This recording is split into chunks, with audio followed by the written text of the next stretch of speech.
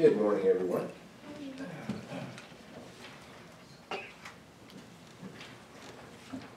I'm glad you're here. Muhammad Ali was a very charismatic boxer.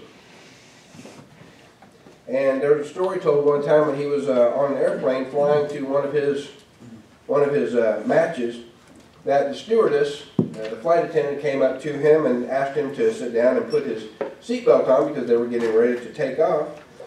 And he said, semi-jokingly, semi-not, he said, Superman don't need no seatbelt.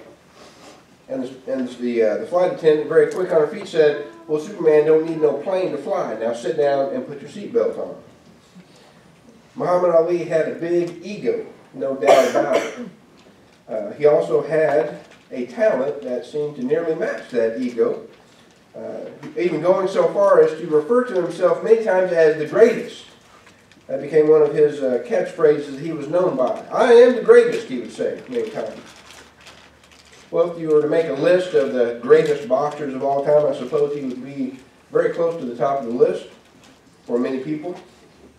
And this is a time of year uh, where we see a lot of these, uh, a lot of these things. You know, the you know the best of 2018, top 10 of 2018. You know, the greatest this or that or whatever.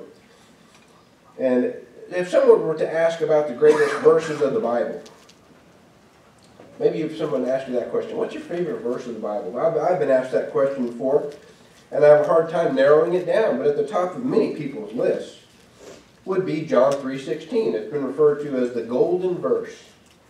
Uh, John 3.16, of course, you see it on the sign. Not so much, not as much as you used to, but you still see it from time to time. People holding up signs at sporting events and things, and uh, you see it uh, in the public domain many times. And there's a reason for that. It is a very powerful verse. It is a very far-reaching verse.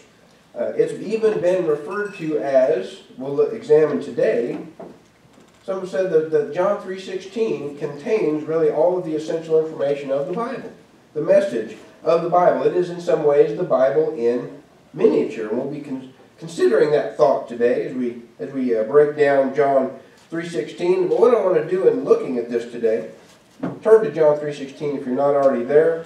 Well, what we'll see as we examine this this morning is that each word, if we consider it in its detail, each word of this, of this verse tells us about the greatest things that there are. John 3.16, For God so loved the world that he gave his only begotten Son, so that whoever believes in him shall not perish, but shall have eternal life. John 3.16 tells the entire story of God's plan of salvation from the beginning and why we should believe and accept it. So we will start with the greatest of all things, and that would be God himself. John 3.16 begins by describing, uh, referring to the greatest being, and that is God. Uh, it's the beginning of the verse, but God is the beginning of everything. He is the beginning. Gen Genesis chapter 1 and verse 1 says, In the beginning, God. Because there was no one else there. He was the only one in existence. He created everything. Jesus referred to uh, this in Revelation when he said that I am the Alpha and the Omega. Alpha being the first letter of the Greek alphabet, Omega being the final letter in the Greek alphabet of which the New, in which the New Testament was written. We would say today that he is the A, A to Z. God is the greatest being, so it's only fitting to start there. And it's also important to remember that he is the only real God. Many gods in the world today, little g, many things that people worship, but God is the only true God in the Ten Commandments to Israel. Two of the of God's top ten, if you will, refer to this idea of false gods. The first two commandments. Uh, that there is no other God besides God, and that man should not worship any other God besides him. It's fitting that God would start there because this is something that is a temptation for humans in all times and in all cultures. Later in Israel's history, the prophet Jeremiah even talks about this. Centuries after God has revealed himself to Israel, after he's entered into the covenant with them, and yet this is still a problem. In Jeremiah chapter 10 and verse 5, the prophet Jeremiah is, is remarking on the, the folly, the foolishness of trying to worship something besides God. God is the only eternal uh, being. Everything else was made by Him. This is a matter of worshiping the creation instead of the Creator. In Jeremiah chapter 10 and verse 5, he talks in this chapter about how men will take a piece of wood and they will fashion a god out of it. They'll take a piece of wood and they will carve it. And they will embellish it with, with gold and, and, and jewels and things and, and carve it in a beautiful way as an object of worship. And Jeremiah says, They are upright like a palm tree. They take this, this, this statue, this carving, and set it up and worship it. He says, They are upright like a palm tree, and they cannot speak. they must be carried because they cannot go by themselves. Do not be afraid of them, for they cannot do evil, nor can they do any good. That last part is most important. He said, You'll worship these, these objects, these idols, and they can't talk. They can't interact with you. They can't speak. They don't do anything. And if they want to go anywhere, somebody has to pick them up and carry them somewhere else. Foolishness. Isaiah said much the same thing in chapter 44 of his prophecy. He said, You'll take a piece of, you'll chop down a, a big log out of a tree, and half of it you'll carve a god out of it, and the other half you'll chop up and use for firewood to cook your food. Well, you better make sure you got the right half. Hopefully, you didn't chop up the god part for firewood, and you're worshiping the firewood now. But of course, he said, You know, it's, it's all firewood. Makes no sense. God is the only real God. Even the heathen king Nebuchadnezzar, the king of Babylon, recognized this in Daniel chapter 3. When Daniel's three young friends refused to worship this golden image that the, that the king had set up. And the proclamation was given then that whoever will not bow down and worship this image will be thrown into a fiery furnace, the death penalty. And when the three men are brought before King Nebuchadnezzar, he gives them one more chance. He said, Bow down and worship my image, or I'll throw you in the fiery furnace. And he said, This is what I had commanded. And who is the God who will save you from my hand? He so arrogantly asks. Who is the God who will save you from my hand? Well, these three young men told him. The one eternal true God is the one who will save us from your hand. And indeed he did. And after Nebuchadnezzar had witnessed these three young men thrown into the fiery furnace, and not even a hair on their head was singed, not even the smell of smoke was upon their clothes, even he recognized no other God can save like this, he was forced to admit. Their God was the one true, the only real God. So John 3.16 begins with the greatest being, God. Only God had the power to help mankind in the situation we were in, and he was motivated to use that power by his love. The next phrase, God so loved. Love is greater than any other power in the universe. We're told of its power and importance in Paul's letter to the church in Corinth. He's talking to the church in Corinth about their use of spiritual gifts. They have gifts of healing and prophecy and speaking in tongues and, and discerning spirits and all of these other things. And he says, all of these powers pale in comparison to love. 1 Corinthians chapter 13 and verse 1, he says, Though I speak with the tongues of men and an angels, but have not love, I have become sounding brass or a clanging cymbal. And though I have the gift of prophecy and understand all mysteries and all knowledge, and though I have all faith, so that I can remove mountains, but have love, I am nothing. And though I bestow all my goods to feed the poor, and though I give my body to be burned, but have not love, it profits me nothing. He sums it up in verse 13 of chapter 13. And now abide faith, hope, and love, these three, but the greatest of these is love. Love is the greatest motive. In the New Testament, it's the Greek word agape that we often uh, look to as the as the, the pinnacle of love. It is the highest form of love. We love many things. We can say, well, I love ice cream or I love my wife. But this kind of love is something even beyond that. It is higher than that. This form of love is that which seeks the best for another despite the personal cost. It means doing good without the hope of repayment or even of gratitude. And is this not exactly what God did for us on the cross? What did the cross cost God? It cost him his dearest, his only begotten Son. It cost him himself. And that gift was largely rejected in Jesus' time and still is to this very day. And yet it was love, the love of God, that bestowed that gift, that made that gift available. God's love was stronger than our sin. And our need was very great. The next word in the verse shows the greatest need, and that is of the world. For God so loved the world. God made the world. And after he made the world, he said, It is very good. And it wasn't very long after that that God saw that very good creation ruined by sin. And he destroyed it with the flood in the time of Noah.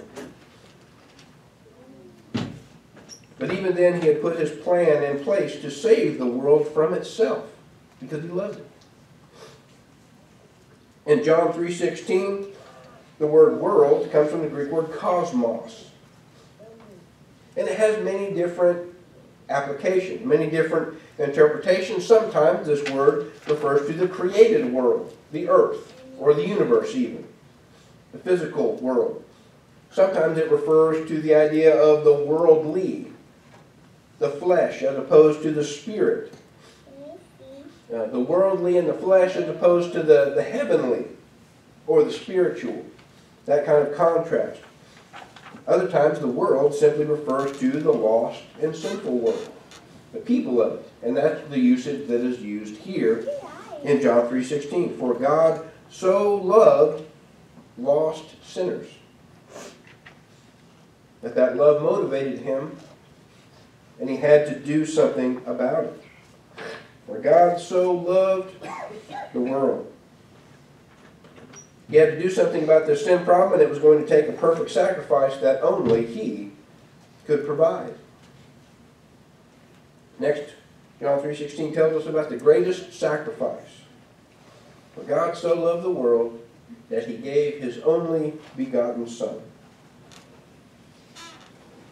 When we look in Paul's letter to the Romans, in chapter 5, beginning in verse 7, we see God's commitment the level of this love and this sacrifice.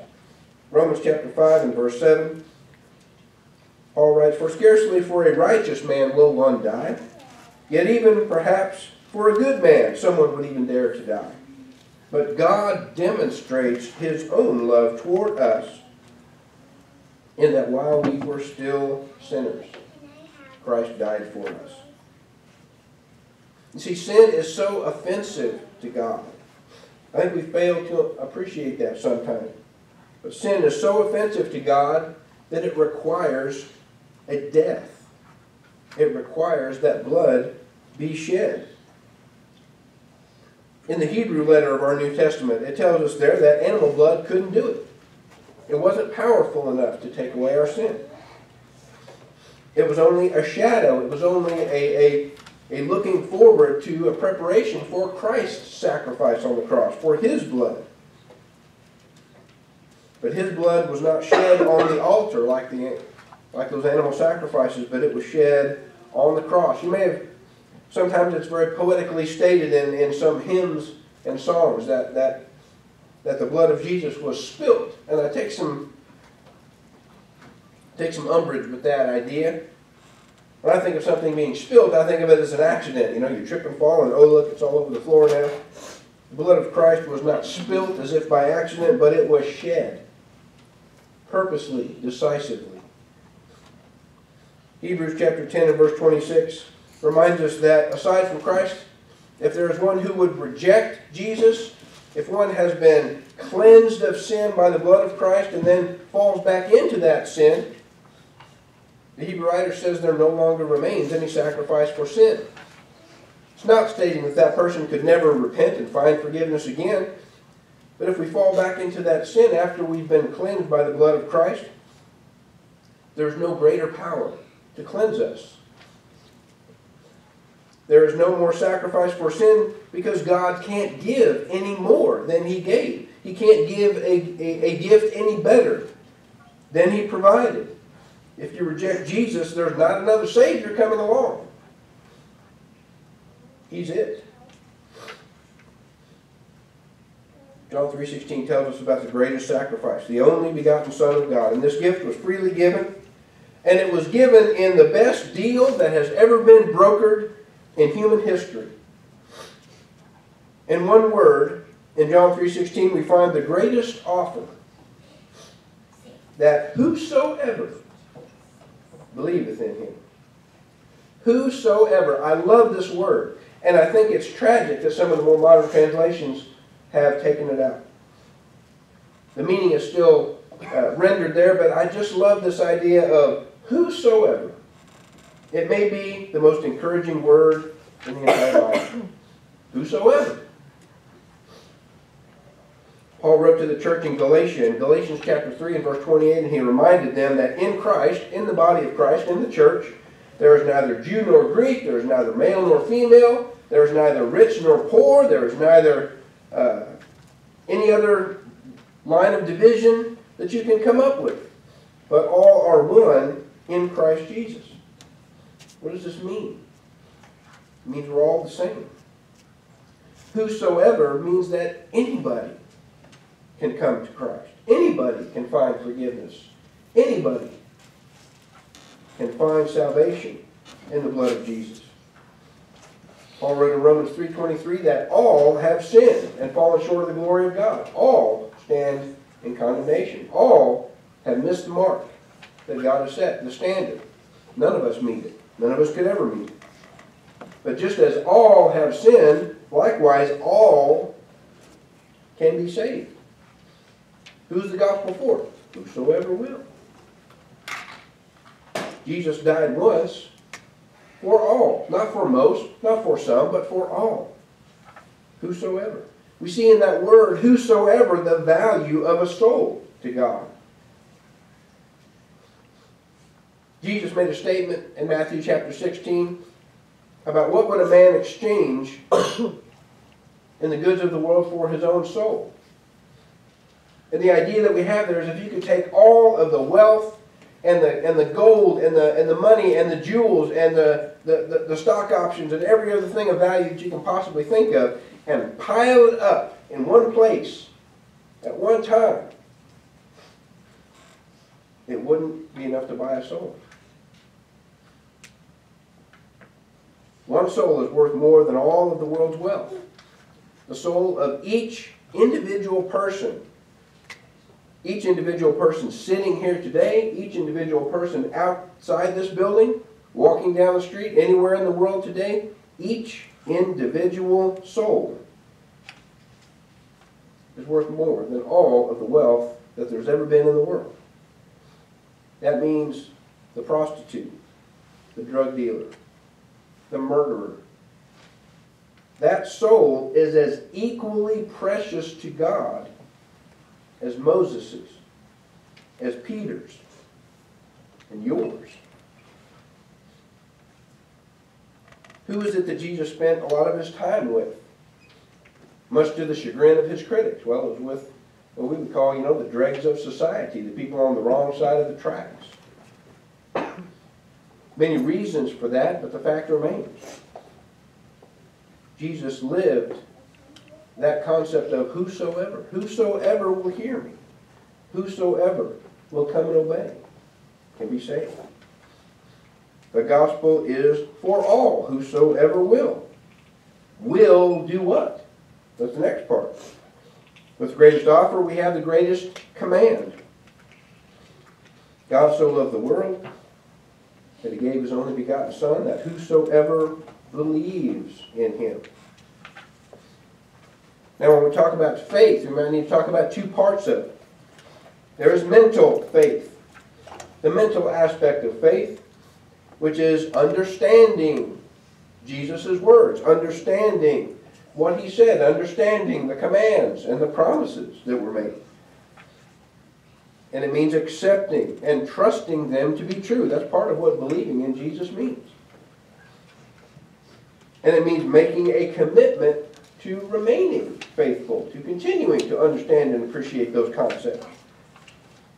But where there is mental faith, there is also equally important obedient faith.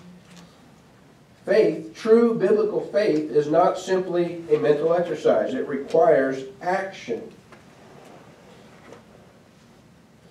James refers to the works of faith and obedience. He says faith there involves works and obedience. They go together. In John chapter 3 and verse 36, as I read from the New King James here,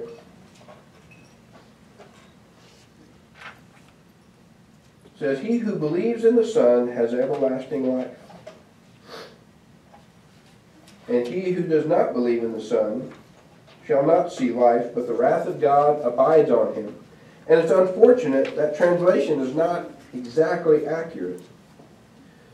If you were to look in uh, some newer ver- uh, translations, uh, like the New American Standard or the English Standard, they use a different word there in that translation. It reads, He who believes in the Son has everlasting life, but he who does not obey the Son shall not see life. And that's actually more accurate. But what the King James said is still true. Believing and obeying are inextricably linked. They are two different words, but both are equated with life. You can't have life, true, eternal, spiritual life, without both. Believing and obeying. But you see, our Father, our Heavenly Father, does not want His beloved children to die, to suffer the effects of sin, which is what brought this all on. For God so loved the world that He gave His only begotten Son, that who, whosoever believes in Him shall not perish. Death, spiritual death, separation from God is the greatest tragedy that there could be. And that is, of course, God's greatest fear that we do fail to obey, that we reject that gift of salvation. That is God's greatest fear. That's why He's waiting. 2 Peter chapter 3 and verse 9, Peter is writing to those who would say, Well, what's God waiting for? It's been a long time. Why hasn't Jesus come back yet? Maybe He's not coming back. Peter writes to allay those fears and say, No, it's not that He's forgotten about it. But he says God is not willing that any should perish. God doesn't want anyone to be lost. So he's giving them time to repent. Paul said something similar in 1 Timothy chapter 2 and verse 4. He said that God does not desire the death of the wicked, but he desires that all come to know the truth and repent. That's what God wants more than anything. And his greatest fear is that we will die apart from him. Death is not simply physical death in the scriptures, but, but in its fullest form, death is eternal separation from God. What we see in 2 Thessalonians 1 9. Being cast apart from God in eternal darkness, separated from him. And that's why God went to such great lengths to avoid this fate. He didn't want us to die and to be lost to him. So that is why he put all of this in motion. And he wants to give us that greatest reward, which is everlasting life. Coming up in February is, uh, is Groundhog Day. And I love that time of year because it means that one of my favorite movies will be shown on TV. Groundhog Day, the movie with Bill Murray. I don't know how many of you are familiar with that. And I always love this opportunity because I'll be I'll, I'll purposely try to set this up so I'm watching it and my wife will come in the kitchen and she'll, and she'll see it on TV and say, are you watching Groundhog Day again? And I'll turn to her with a very confused look on my face and say, What do you mean again? If you've seen the show, then you know the premise of it is that a man gets looped into living the same day, February 2nd, over and over and over again, hundreds, thousands of times, and he can't do anything about it. Well, because he knows everything that goes on, he begins to go around in this town and find out all of the different things that happen every day, and he knows exactly when somebody drops a plate, he knows exactly when somebody crosses the street, and all these little insignificant things, and he knows all of this. And there's one scene that I always think about where he's walking down the street, kind of muttering to himself, and he looks at his watch, and then he looks at it again really quickly, and he begins to take off running at a dead sprint, and he's running down the sidewalk, and he dives and makes this diving catch of this little boy who falls out of a tree. And the little boy gets up and, and kind of brushes himself off and takes off running. And uh, Bill Murray's character says, all right, what do you say? What do you say? What are you supposed to tell me? He says, you never thank me. So he, he does this every day. He goes and saves this boy from falling out of the tree, and he says, you never thank me. Wouldn't it be great if you just stopped climbing that tree? Wouldn't that be a lot easier? I wonder if God ever feels the same way with us. Wouldn't it be easier if instead of forgiving us of our sin, we just quit sinning? Wouldn't that be a lot simpler? You see, God doesn't want to just save us from death. He doesn't want to just save us from our sins so that He can say, okay, save you again tomorrow. That's not what He desires. He wants something better for all of us. When Jesus was telling his disciples about why he had come, he said in John chapter 10 and verse 10, in that great passage about how he is the good shepherd, guarding and protecting the sheep, he said, I have come so that they may have life, and that they may have it in abundance.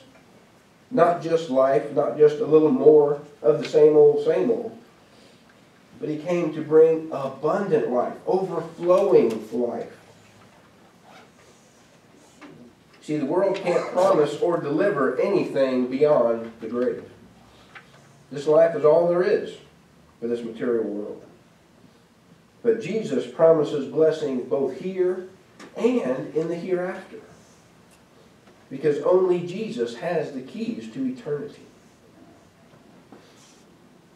So in this one verse, in this one verse of Scripture, we have pretty much the whole story of man's redemption as it has been orchestrated by God. We see who acted, why he acted, who this was done for, and what the terrible cost was. And we see that anyone can receive this great gift and avoid certain death by trading it for eternal life. John's 3.16 is in many ways the alpha and the omega of Scripture. God so loved the world that he gave his only begotten Son, that whosoever believes in him shall not perish, but shall have everlasting life. And that really says it all. If you would like to experience that everlasting life, if you'd like to experience the forgiveness of your sin through this great gift of God, given by his great love for you, then come today, obey the gospel, repent of your sin, confess Jesus as Lord, be baptized, immersed in water that your sins might be washed away. Or if you've neglected this great gift, then we urge you to reconnect, recommit yourself to the cause of Christ. Recommit yourself to God. Humble yourself in submission to Him again, and He will bestow that same love that He still carries for you. If you have a need of the church that we can help you with today, please come as we stand and sing this song. There is